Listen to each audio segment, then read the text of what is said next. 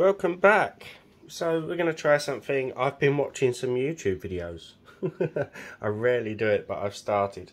And we're going to try something which I saw by uh, a YouTube channel called Co Concrete Resin Ideas. They did this video about a year ago.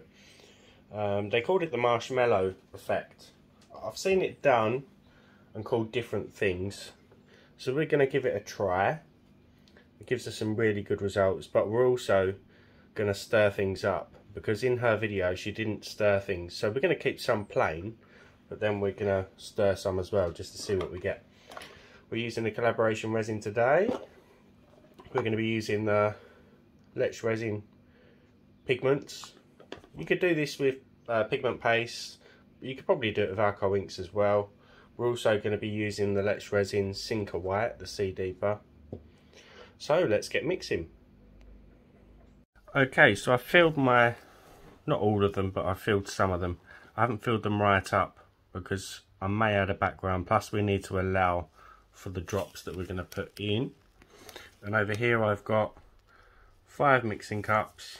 This one's got a little bit more in because we need to mix up our white, but the other four are for our colours.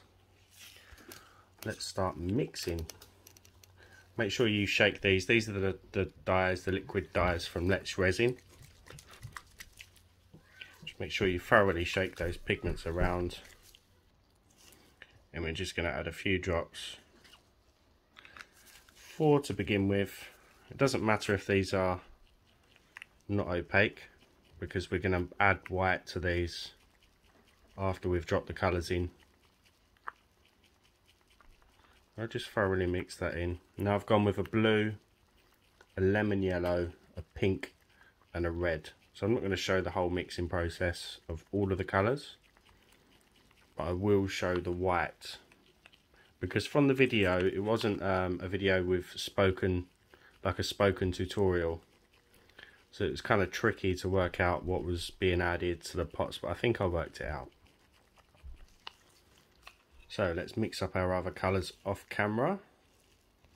So there are our four colours. Now I did mention you can do this with pigment pastes. You will need to let the resin sit for until it thickens up if you're going to be using pigment pastes because otherwise they will sink. So from what I understand, I now need to add the white liquid pigment to this one. I've got more resin in this cup because we're going to be using more of the white than the colours because we need to add this to each of the colour drops that we put in. So this naturally makes the resin opaque. And I don't know how many drops of each she put into her resin, so I'm just going to wing it. So this is the Sinker White in here. I'm going to shake my bottle up. I'm not sure what the difference is or why I need to add this, but we're going to add a few drops anyway. Maybe it's to make it more opaque. I do not know.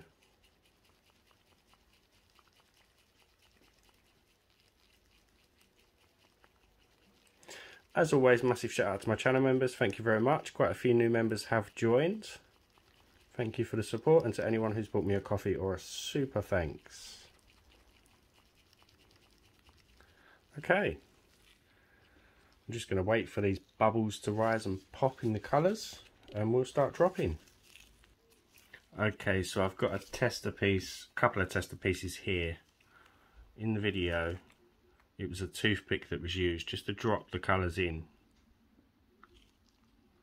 they shouldn't sink because the liquid dye isn't heavy and the resin is the same viscosity as the resin that we've already poured in because we mixed it at the same time.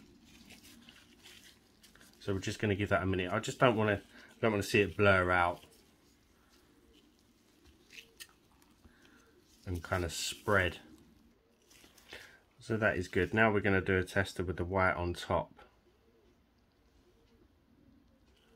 So one drop of white was added to each drop of colour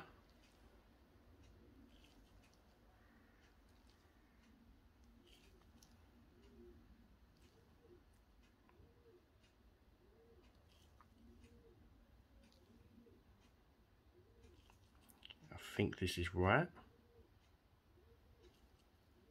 And maybe the white alcohol ink is required to push out just slightly and kind of puff it out to make it look like that marshmallow effect. I'm, I'm really not sure. So I don't know whether I need to add more white alcohol ink. We'll give that a couple of minutes.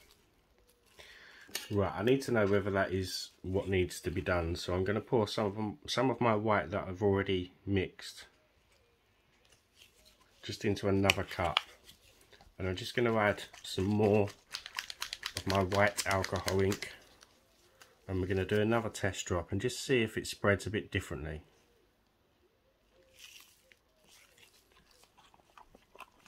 It's the tricky thing with some videos. You're not quite sure on what's being added or how much or if it's required.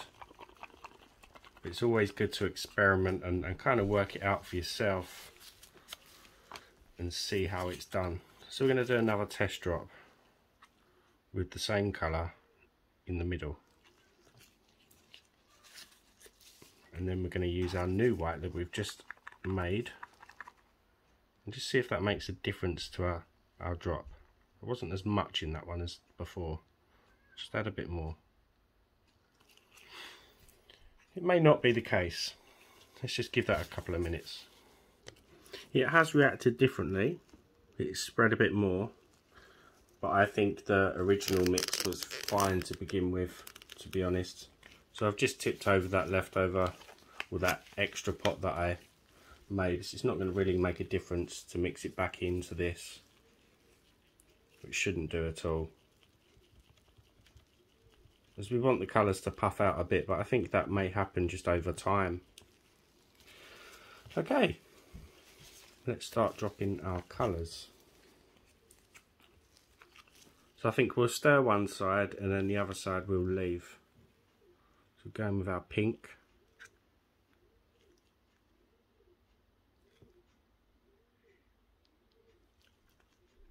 Add more. I'm going to try and keep this one tidy. Normally I just chuck things in everywhere, don't I? Let's lock my focus. There you go. Going to try and draw some hearts into some of these as well. Let's go with our red. We'll add the white afterwards.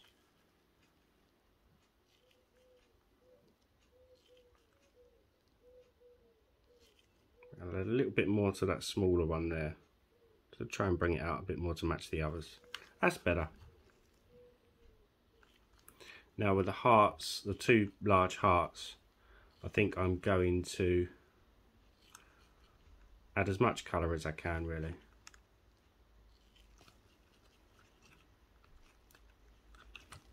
Added more to that left one, doesn't matter.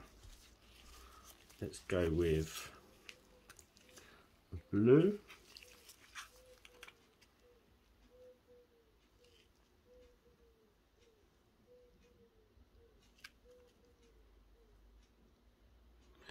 just hope it works because I want to upload this one for you to watch tonight. A bit more to that one.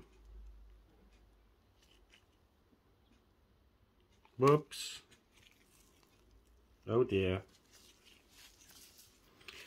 We should be doing the two small hearts. I think we're going for red and pink. Or just red.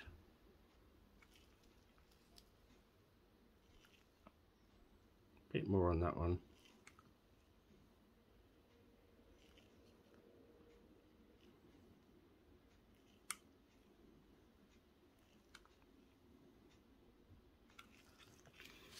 Yeah, we'll go red pink. I think we'll save the yellow for the multicoloured hearts, the big ones.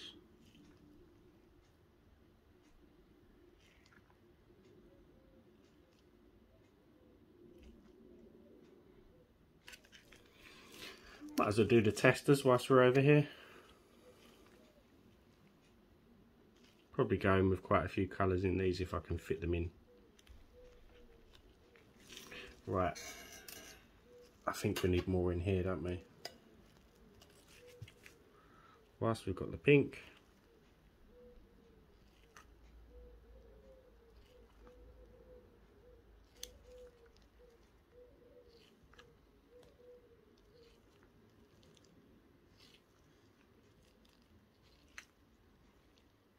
I want them to stay round. okay. Let's add some more. Actually, we'll go with some red in these two ovals as well as the pink.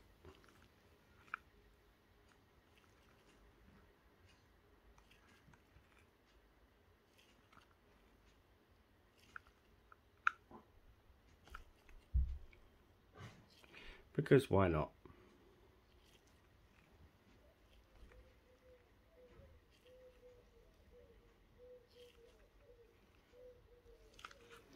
Just feel that space.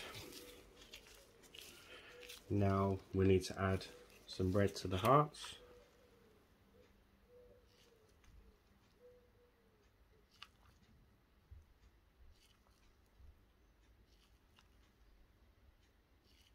You can see I've left some room in this one. So I need to top them up. But hopefully the background will help the colours pop. We haven't used our yellow yet. Or yellow green.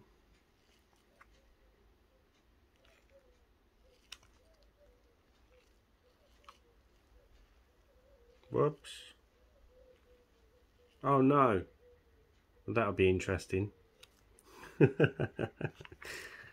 the yellow and the pink together. Lovely. So we get see some yellow in these blues.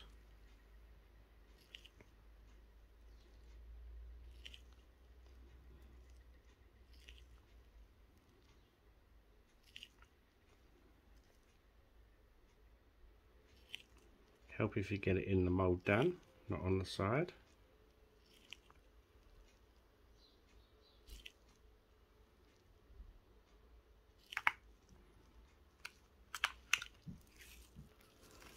Now we're going to pop some blue in these.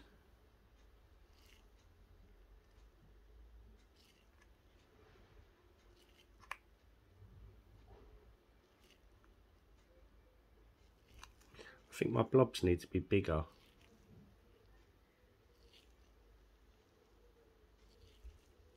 Let's add some more.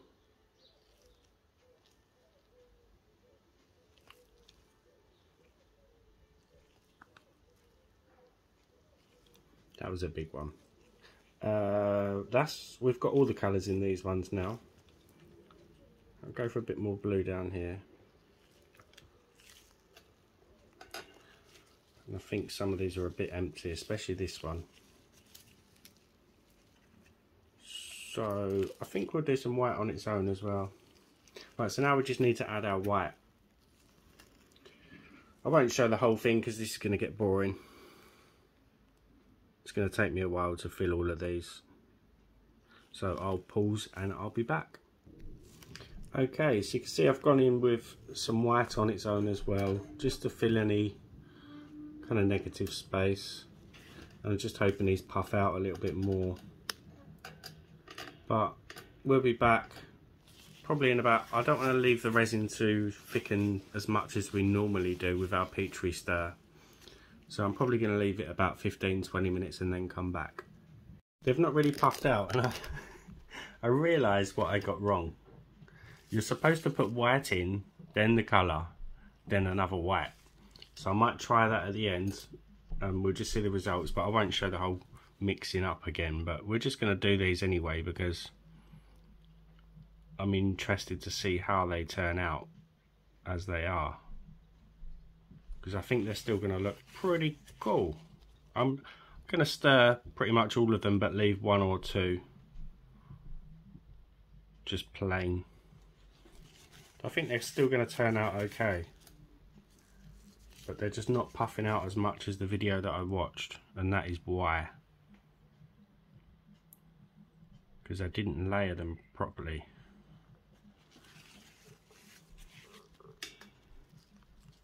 So I've started watching YouTube videos, but not properly. oh well. Like I said, I think we're going to get some good results anyway. Something a bit different.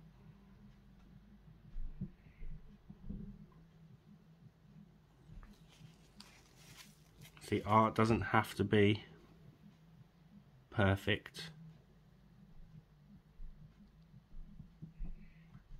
I might just stick with this, you know, and do that another time. Because I am quite liking the look of these. Which one do I stare? Let's do this one and leave the one next to it blank.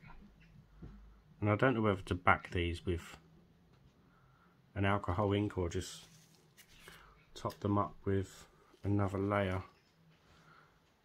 I'll have a think. But they're looking pretty cool at the moment.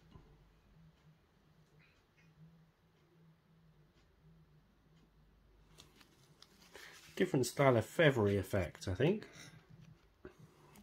I'm definitely keeping that one as it is, but I really want to stir these. Go with a different way.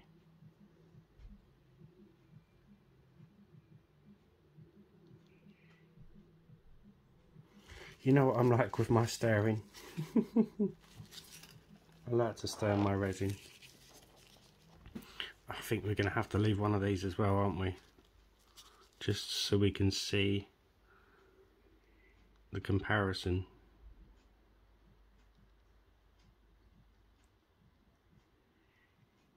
It's just going to look like a polka dot though. It's almost like the cloud effect as well, isn't it? It's very similar. Right. I'll see you in a little Wow. We are going to do it. I'm so indecisive, but I'm not going to show all of them because it's just going to take up too much time. So what we need to do is add a white add a drop of colour and then add another drop of white on top of that colour. So I'm going to finish off, I've only got three on this mould and we'll see all the results at the end. I haven't made my mind up with topping up the other ones yet but we'll get to that. So that is what they should look like. You can see how layered they are. Again I'm going to stir maybe just this one and leave the other two just to see what they turn out like. I think this is going to be very similar to the other ones that we've just done. Maybe a bit more depth because we've pushed that colour down a bit more. So I think they're going to have a bit more depth than the other ones. So I've just got that one and that one to go. Now I'm just going to add some black alcohol into these, some of these, just to finish them off. And I'm just hoping it doesn't disrupt what we've already done. Let's see.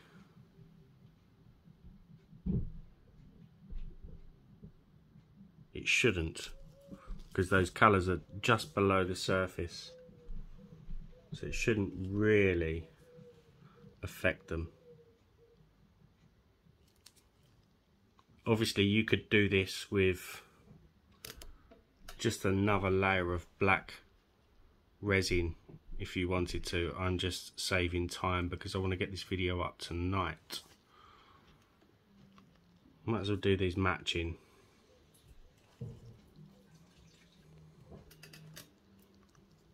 Not going to do all of them.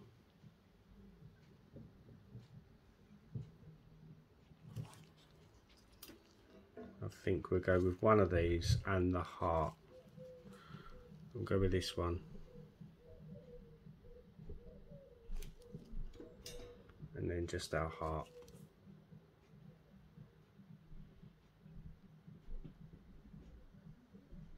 Yeah, it's not disrupting them, they're just below the surface. I'll keep the other ones plain. Right, I'll see you soon. Right, we are back. These ones are blurred out a bit, but it would be interesting to see what these look like on the other side because they've kind of pulled inwards So, let's start with the ones that we didn't stir. So I'm not sure just how they're going to be. Uh, has that blobbed? No, it hasn't. Mm, I'm not a fan. You might be. We did them wrong anyway, didn't we? So it's kind of different, isn't it? Probably would have looked better with that black background, maybe. Let's do the ones that we didn't add any black background to. That is really nice. It's got some depth to it as well, which is good. Now these are still a little bit soft,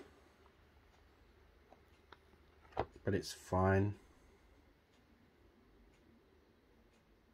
Still really cool. A bit of a bubble there. No, that's glitter. I didn't clean my mould properly. It's really neat. Let's do the oval.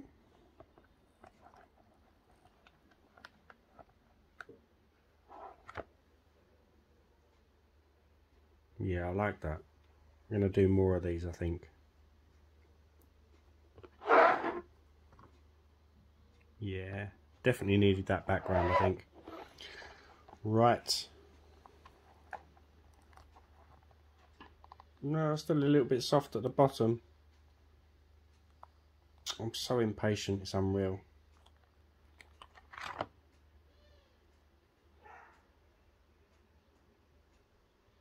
See, it reminds me of the cloud technique a bit. Has some depth, you can see that depth. It's kind of a, a mash-up between the cloud technique and feathering.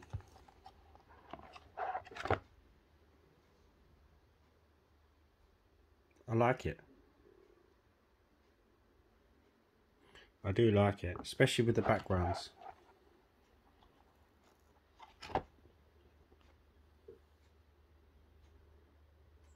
Did we get the matching pair?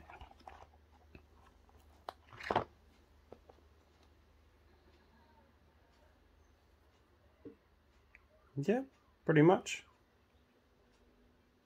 Either make those into pendants or earrings. Whatever you like. Let's try the other square. It's really cool looking, isn't it?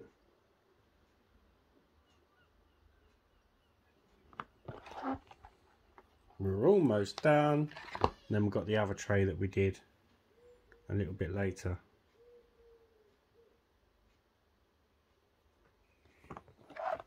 This is the one I'm looking forward to.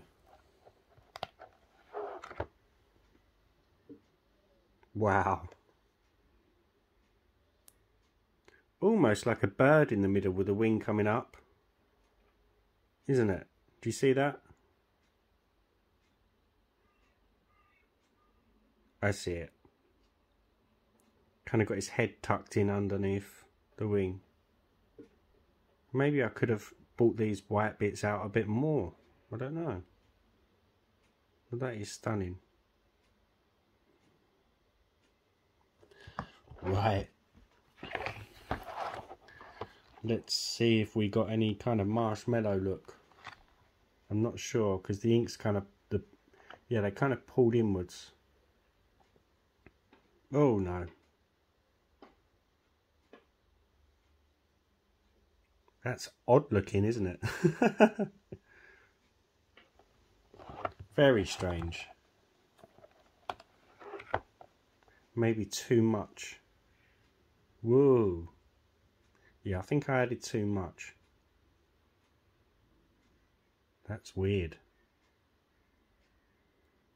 And I think where I sped things up with some heat to get them cure quicker, that might have affected those.